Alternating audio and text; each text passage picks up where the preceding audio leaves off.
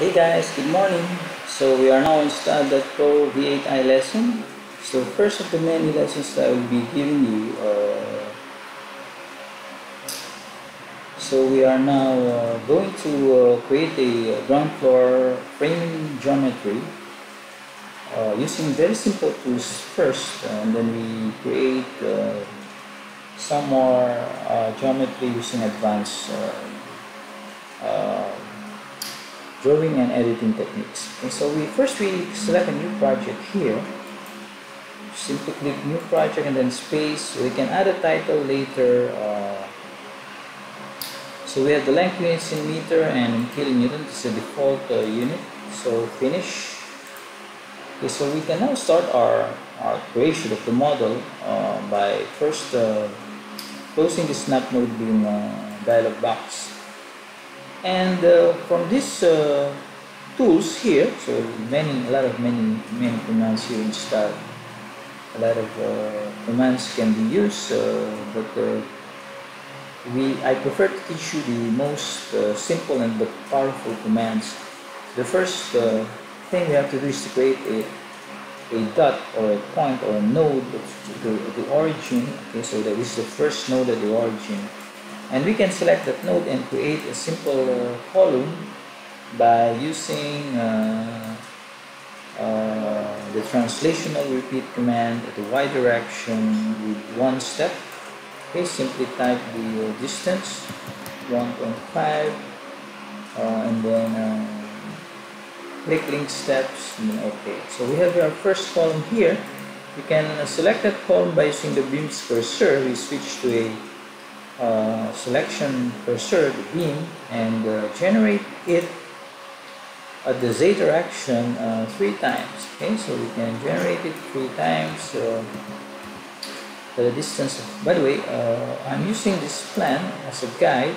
Okay, for such ground floor framing a plan that we are going to model.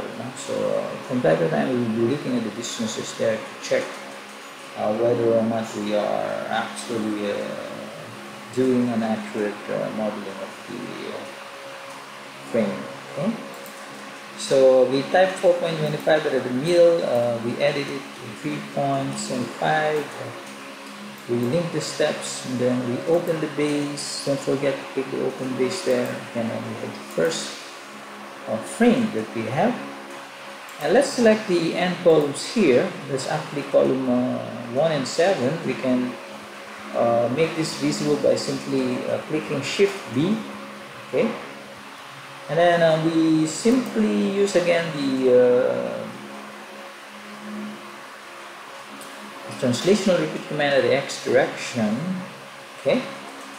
Uh, we repeat it seven times, 4.25 but at the middle uh, it's uh, just 4.5 okay? So it's we simply added the, the part which we don't have the same spacing as that uh, given in this uh, uh, figure here. So this uh, number 4 step is actually 4.5 okay? So then we click the link steps again and the open base to get this one okay? So it's just like repeating the the command time and again. Okay so we can copy these uh, members here uh, create the same members there the, at the end by using a translation or repeat uh, the x direction so we simply type 30 and then uh, link steps. Okay don't, don't don't link the steps here.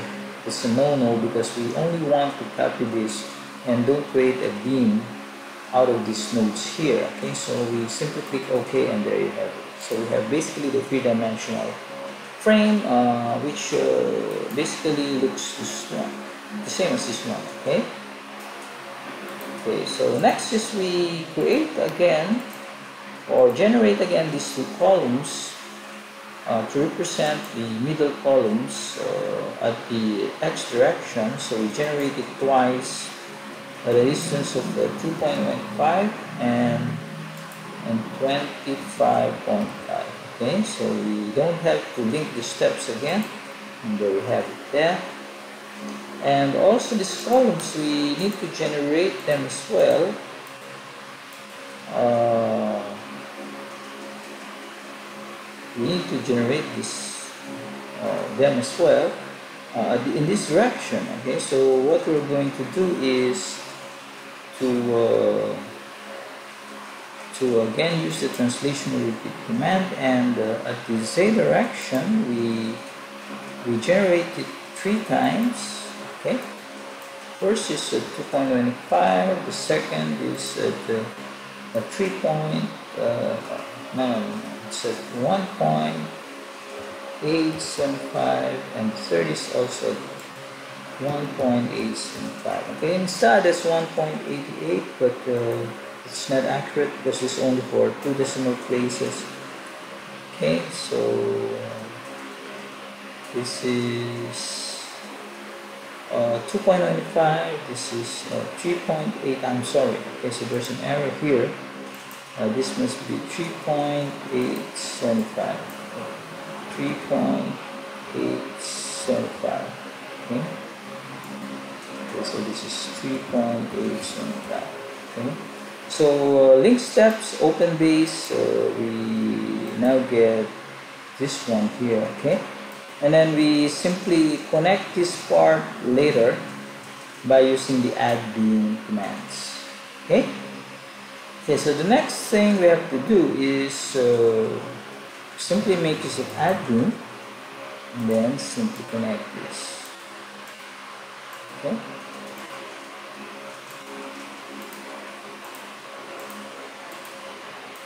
and also we can uh, make use of uh, this add beam command to connect this okay?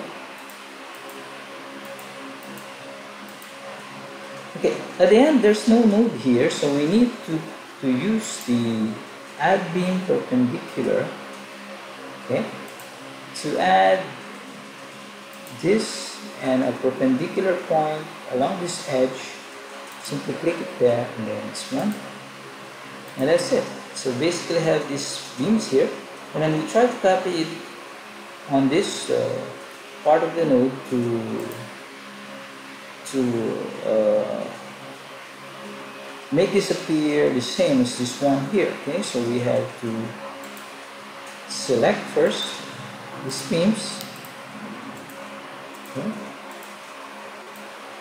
and then we use the translation repeat command of the z direction.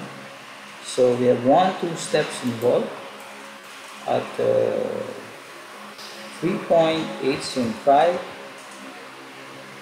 uh, distance okay? So that's a 3.875 distance uh, no link steps so so there you are. Okay so we're actually uh, becoming very close to our model here. Okay so we only need uh, some beams here to complete no, the model so we can make use of uh, okay uh, we can make use of the add beam perpendicular command here. Okay so make it and then copy this or we can actually do the beam here but uh, we can uh, just copy this uh, by measuring the distance from here to there. Yeah, so this 25.5 so we have here the x distance. 1 we simply type 25.5 and no link steps. Okay so that's it finish okay? So using the, the view from top or view from passive wall so basically your model here is the same as your model okay? So that's how to create the uh, ground floor framing plan or the ground level framing plan.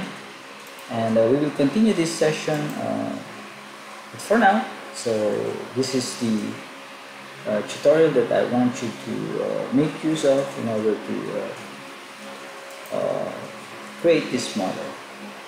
Okay, bye for now.